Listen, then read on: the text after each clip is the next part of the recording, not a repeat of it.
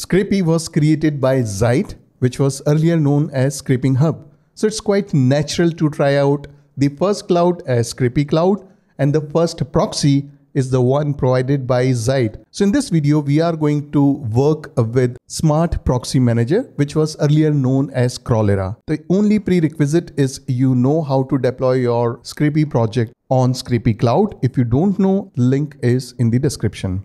Before we talk about why you would need proxies, let me show the practical problem that I'm facing right now. So the problem that I'm facing is that I am hardly able to scrape 159 items and immediately I am getting banned. So what I have done so far is I have deployed this on Scrapy Cloud. I was able to scrape 5200 items and then I started getting errors and if I open the errors, you can see 503 service unavailable error message. Let's come here and here we have smart proxy manager. So this is the Crawlera, right? So there is a 14 day trial. So for this exercise, a trial should be sufficient, but of course you'll have to enter your credit card details. Okay. All right. So I entered my credit card details. So you'll see this message here that we are now provisioning your account. So it will take few minutes the account has been provisioned. It's saying waiting for your first request. There is API key and some code examples. So if we come to Python, here is the example of request.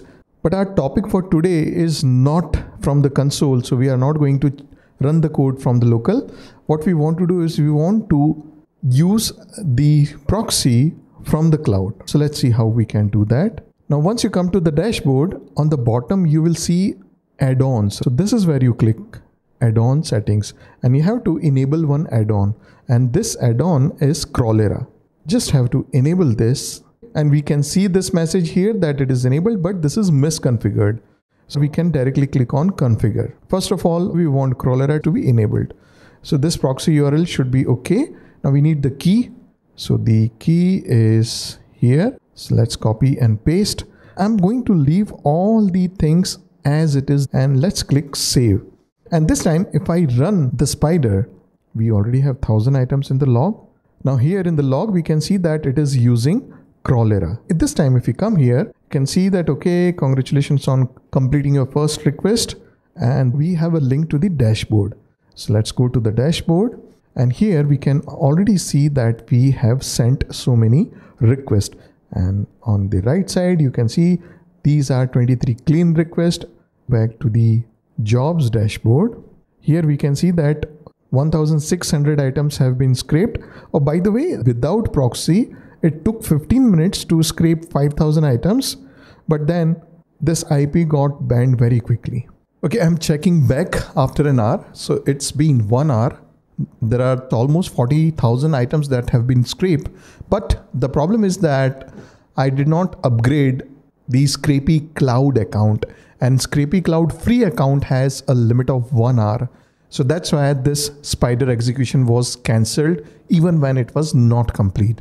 So the next step is that I'm going to upgrade to a paid account for Scrapy Cloud as well and I'll resume the video. The payment is done and I've purchased two units and here on the top right corner you can see that I have these two units which I purchased ready to be used okay.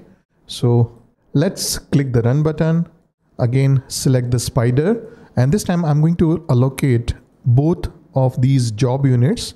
Let's wait for some time and come back to it. So it has been 22 minutes and there are 9500 items scraped.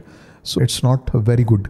So i'm going to click stop and let's make certain changes to the settings so let me show you some settings so concurrent request we are going to change to 32 instead of 16 Download delay, explicitly we are going to set it to 0. Concurrent request per IP and per domain will be 32. Cookies will be disabled. And auto throttle, that also needs to be disabled.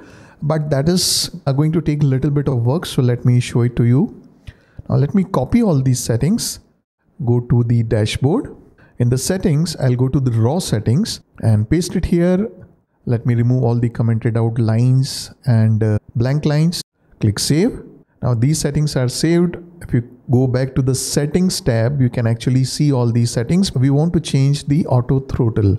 So that is controlled by an add-on. So on the left side, let's click on add-on setup. You can see that auto throttle is enabled. Let's click on configure. And here we can see that even though debug is disabled, the auto throttle itself is enabled. So let's disable it and click save. There we go. So this is saved. Now let's rerun the spider. So let's come back. So going to the jobs dashboard. So what we can do is we can click on clone. So all these settings will be carried forward and we don't have to specify or remember all the settings that we uh, used here. And now if we click run, the changed settings will take effect and uh, I will come back and review how it is going on. So it's been two minutes and I'm doing a quick review like what is the impact of changing all these settings. So you can see that in two minutes, we have 36,000 items scraped. All right. And while in the previous run for scraping 10,000 items, it took 23 minutes.